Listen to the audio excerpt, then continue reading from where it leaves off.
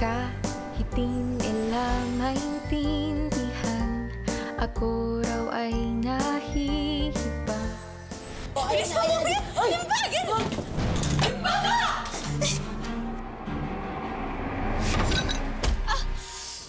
Dad! So, miss, maraming maraming salamat sa'yo. Ano mo, sir? Salamat. Salamat. Salamat. Salamat.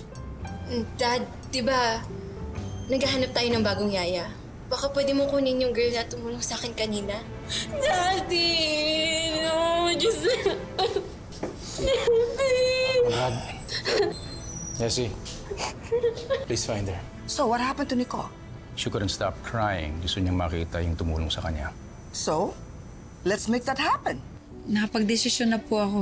Mag-a-abroad po ulit ako.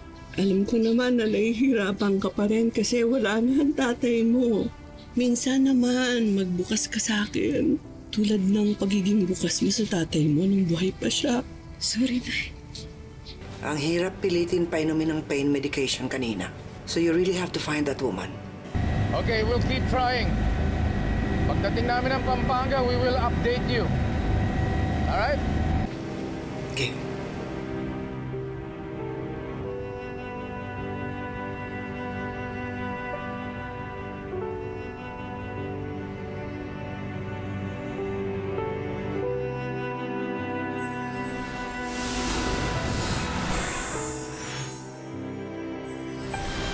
Okay. Nasaan si Gemrose? Bakit wala? Si Gemrose kasi umuwi muna, may nakalimutan eh. Bakit di mo sinamahan? Oo nga naman. Ba't ka mo sinamahan? Ikaw talaga. Oh. Sinabali anak, ikaw ang bahala dito. Sige na. Ikaw ang bahala dito. Dali lang po na yan.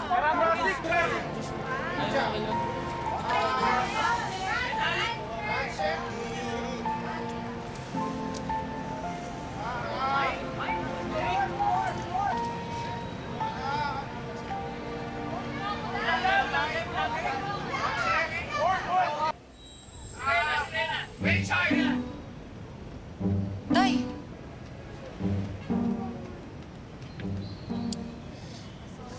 Tay, sayang no. Sana totoo na lang na nandito ka.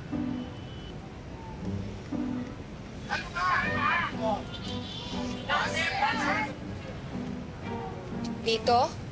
Nandito? Ikaw! Ikaw! Sa puso ko. Nandito ka sa puso ko.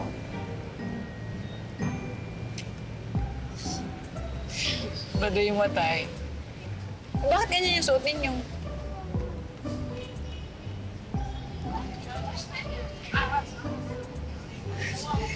Sabihin ko na lang, mahaba eh. Kasi anak, alam mo, may mga bagay na dapat nararamdaman mo. Kahit na hindi mo naririnig at walang nagsasabi. Katulad nila.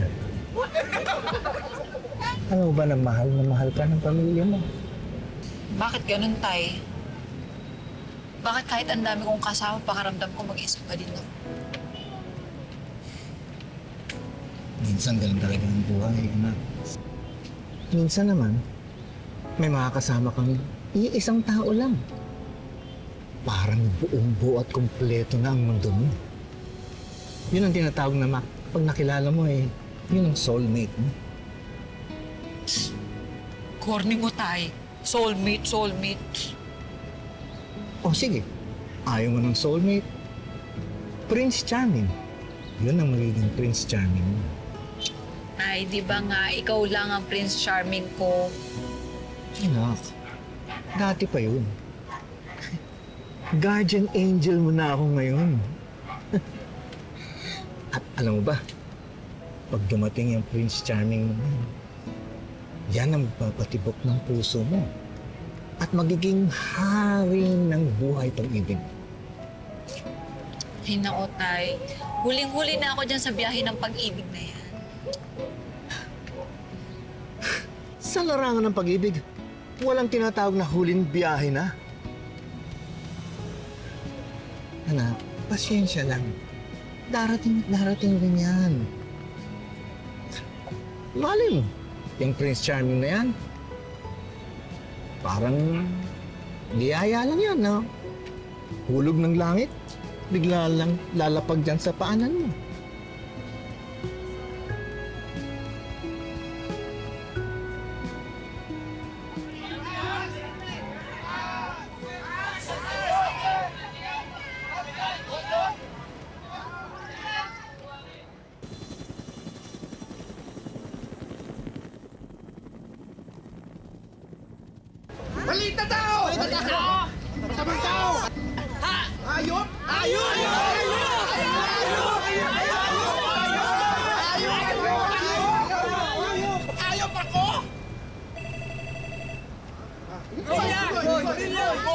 Hello?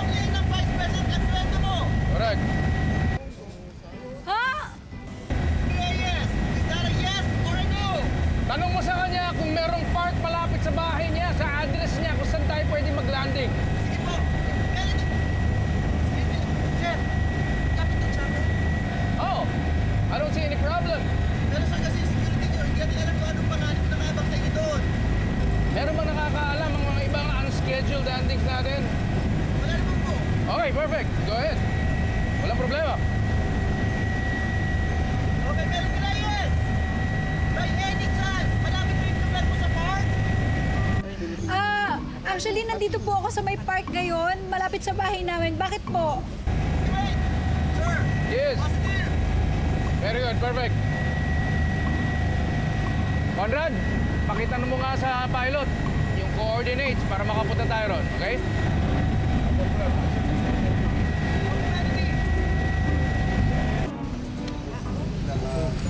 Oh, Melody, bakit? May problema ba?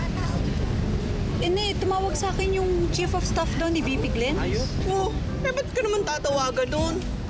Ikaw ha? Baka yan ang gagawin mong dahilan para hindi mag-abroad. Walang bawian. Halika na nga, maglaro tayo doon. Halika na. Sali ka doon. Oh, tama na yan. Ah, tama na, tama na. Tama na, tama na. Si Melody na. Si Melody. Okay na.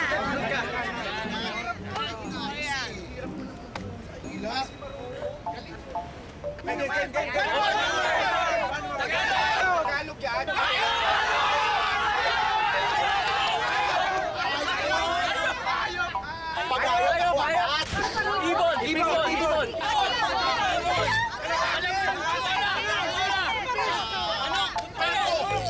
二十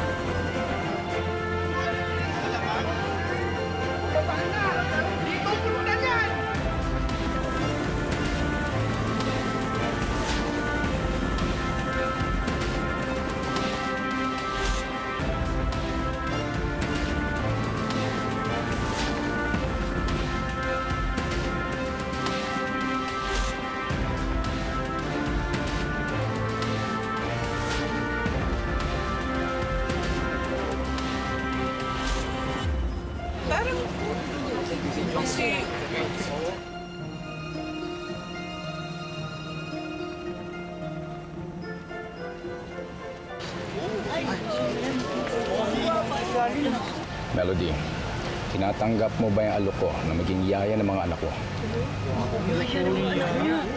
Dodobling ko sweldo. Please, Melody.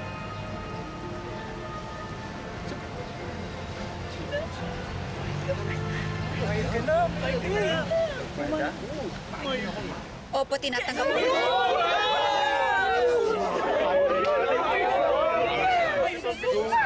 Masusundo kita kaagad.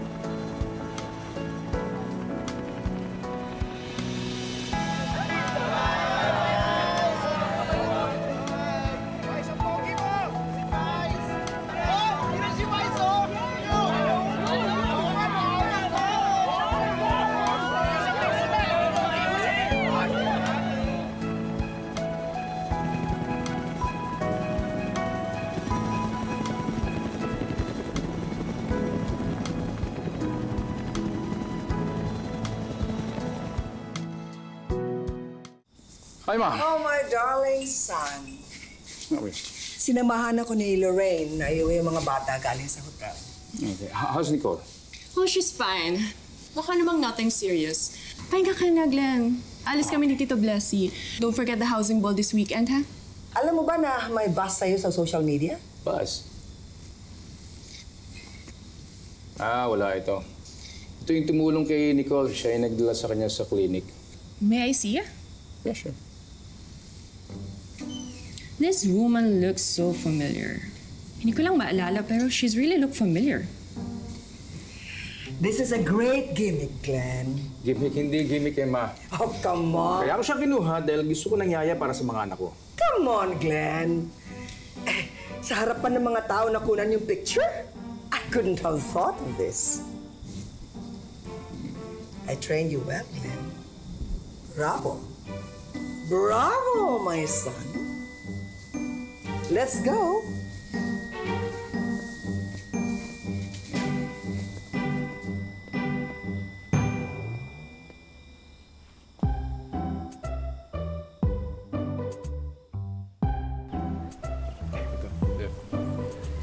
Good morning! Good morning, sir! Morning! Conrad! Morning, Sir. I have never been so happy to be wrong, sir. Okay. Buti na pilit niyo po akong pababayin yung helicopter. Netizens are heaping praise on Vice President Glenn Acosta, was spotted yesterday mingling with some of his Masa constituents. Quite unusual for a super rich vice president who has largely been criticized for leading a privileged life. According to the eyewitness account, the vice president was in the area to personally offer the job of nanny of his children to his chosen applicants. The internet is applauding the vice president for being a hands-on father. Hands-on father? Fake news. Ang dahil pong gusto mag-interview sa inyo. Ayoko magpa-interview kasi. Sir, siyempre naisip ko na yan. Sa tagal ng panahon na magkasama tayo eh. Okay, good. Kaya nagpatago ako ng press con.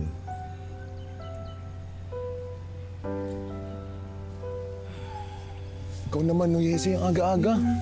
Sir! Sir! Pakinggan niyo na muna ako, sir. Sir, pakinggan niyo lang po. Morning. Sir. Morning, Dad. Morning, kids. Morning. Sir, pakinggan niyo naman po ako. Sir Glenn, I have always supported your job, so please let me do mine. Okay po to sa ratings niyo eh. Hindi naman po natin to sinadya. Organic. Sir, okay po to sa mga masa. Yasi, pwede bang kakain muna kami ng mga anak ko? Sure, sir. Move ko na lang po itong importanteng meeting niyo.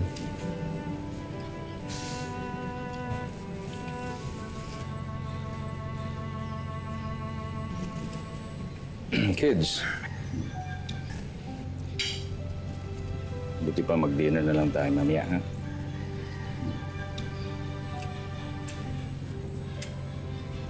Nina.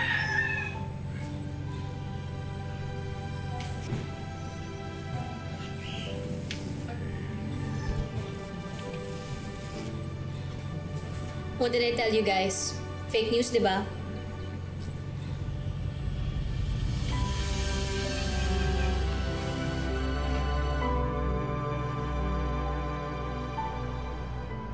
Nay, buti na lang hindi niyo pinagkalat sa mga kapitbahay natin na ngayon yung alis ko, ha? Pa siyempre, gusto ka namin masolo, no? Oo nga, ate. Hindi naman madalas mangyari yung magiging empleyado ka ng Vice President ng isang bansa. Tama. Sus! Made pa din yun. Sa vice presidente nga lang. Di ba, ate? Eh, teka. Nay, asan nga pala si Jess at Impact? Ako, ang dami lang request sa akin pa sa lubong, ha? Tapos wala pala sila, hindi nila ako ihahatid. Naku, andyan-dyan lang yung mga yan.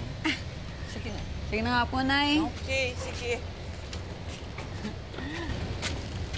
Mabuhay si Melody! Melody! Melody! Ano ba yun? Melody! Melody! Melody! Melody! Melody! Nay! Akala ko ba hindi mo pinalam sa mga kapitbahay? Ah, surprise! Ay, teka muna. Paano ka pupunta sa boss mo? Kailangan ng pamasahe? Ay, sabi po sa akin, susunduin daw po ako. Ate, ate! Kung hindi ako nagkakamali, yan na ang sundo mo.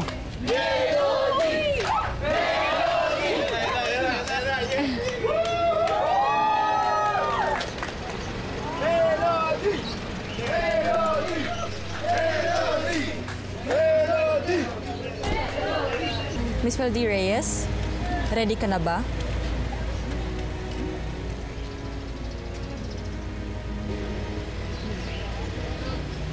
Ready na.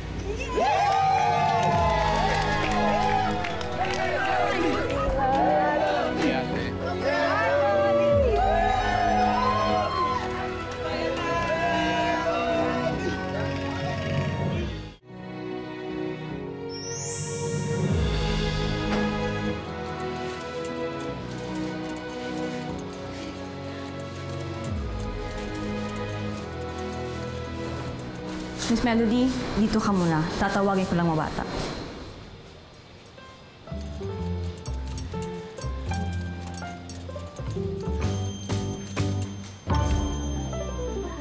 Sir, more or less the media and press will ask regarding dun sa unscheduled stop natin dun sa lugar ng Yaya yesterday. Tatanungin din ba nila kung nagpunta ako at dinalaw ko yung groundbreaking dun sa high school sa Pampanga? No, No, sir. Di, di, sir. Joke lang. I'm sure somehow magtatanong sila tungkol doon. Pero ngayon, mas interesado sila kung bakit bumabango ka sa masa.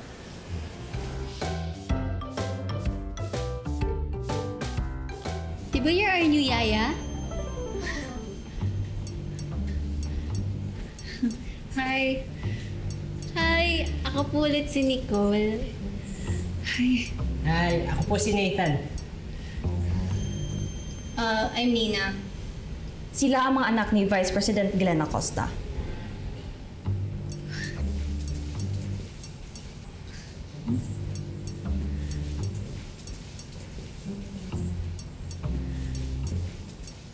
Hello. Ako si Fifi. Makaarte mo. Pepita. Pepita ang totoo niya pangalan. Ako naman si Norma.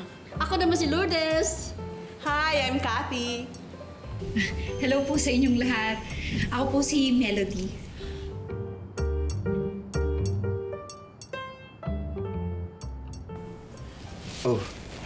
Sir, before I forget, if they ask for regarding do sa charity housing ball, kung sino pong kandidato doon, ang sagot niyo po ay secret. Ano yan? High school yun ah. Opo. Ha? I mean, no, sir. Ah, sir, kasi po, mas mabuti na po na secret yung sasagot niyo kasi kaysa urilatin ng mga press yung relasyon niyo kay Miss Lorraine. Oo nga, sir. Unless ready na kayo sabihin kung ano talaga sa buhay niyo si Ma'am Lorraine. Eh, sir, ano na po ba si Miss Lorraine sa buhay niyo ngayon?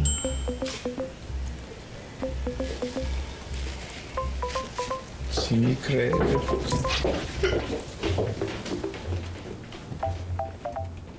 Yeah, okay, I, I understand, I understand. Hi, Mr. Vice President. Dad!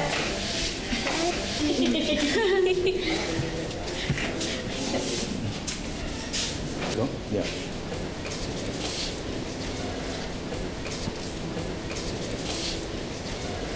Nina.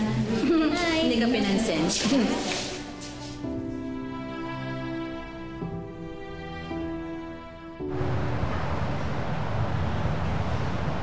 Ladies and gentlemen, the Vice President of the Philippines.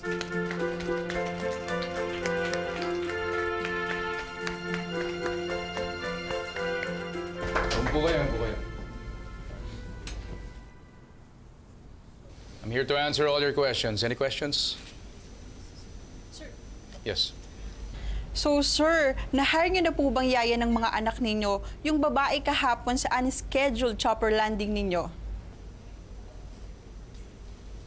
Yes. Kumuha na siya at sinundo na siya ng staff ko. Any more questions? Sir, sir. Yes, go ahead. Sir, mamimit na po ba namin siya soon? I don't think so. Anyway, galing ako kahapon sa Pampanga. At nagkaroon kami ng ah, groundbreaking ceremony para sa isang public school na tinulungan ko. I'm really happy about that. So, any questions about that?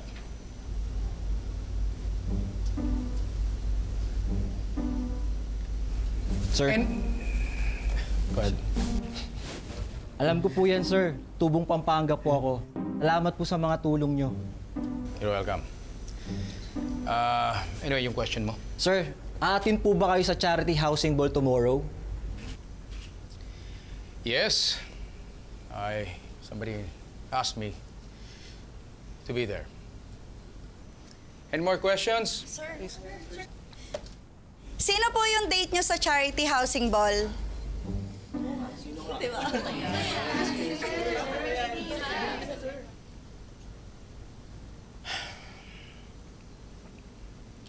Secret.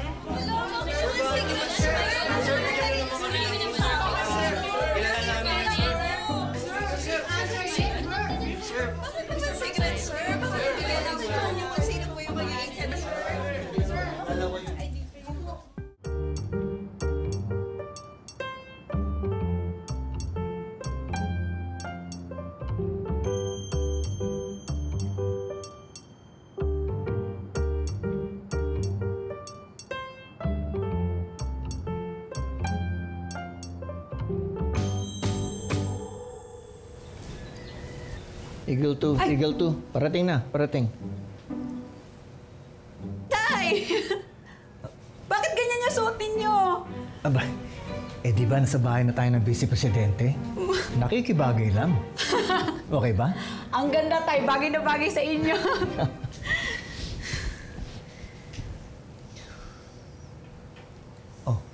Bakit? eh kasi, Tay, kinakabahan talaga ako eh. Pero masaya ako, Tay. Ah, ah, natatakot ako na, alam mo, hindi ako makatulog kagabi. Eh, Ninenervyos ako. Pero excited naman ako, Tay. Yung bang kabog ng dibdib ko, sobra talaga, Tay. Tapos, kinakabahan talaga ako. Pero enjoy naman to. Alam mo yun, yung gustong-gusto ko talaga itong trabahong to. Tapos, sobrang saya, sobrang nakaka-excite na nakakaba talaga, Tay. An- ano ba talaga Siyempre, sobrang excited ako, Tay. Mas excited pa ako. Dahil ito na ang simula ng fairy tale mo. Yaya Melody? Ready ka na ba? Yaya Melody?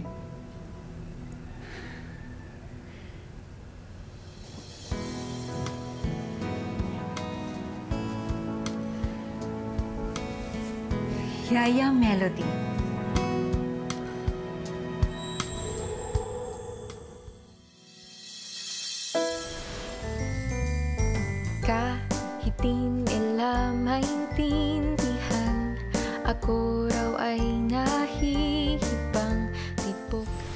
Distinguished guests, gusto ko lang sana ipaalam sa lahat. Vice President Acosta has my full support. Siya lang ang bukod tangi kong nakikita na maaaring sumunod bilang presidente ng Pilipinas. Mabuhay ang Vice Presidente! The Vice President and the kids are going to attend the house charity ball. Pakiayos yung mga gamit nila kayo sa hotel sila magbihis, okay? Sir, may problema po ako eh. Eh kasi yung damit ko pong dala, maong tsaka t-shirt lang. Okay lang po ba yun? No, that's hideous. Kamusta yung pag-aalaga mo sa aking mga anak? Okay naman po, sir. Huwag po kayo mag-alala. Kikilalanin ko po silang lahat. I like you.